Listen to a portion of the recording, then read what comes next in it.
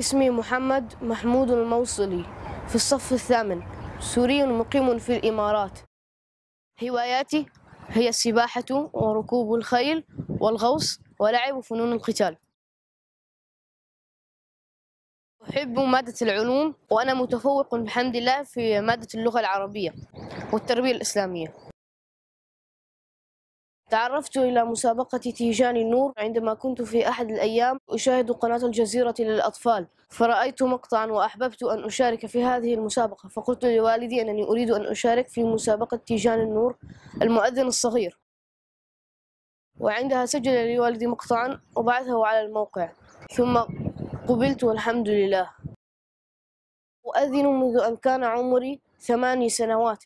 كنت أجلس بجانب النافذة وأستمع إلى المؤذن ثم أردد بعده. أعجبت بالأذان وأعجبت ببعض المؤذنين وأصبحت أقلدهم. ثم بدأت أتعلم الأذان على مقامات مختلفة. ثم أتقنته والحمد لله. الله أكبر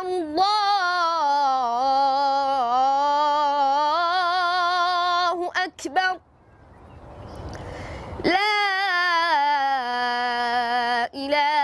إلا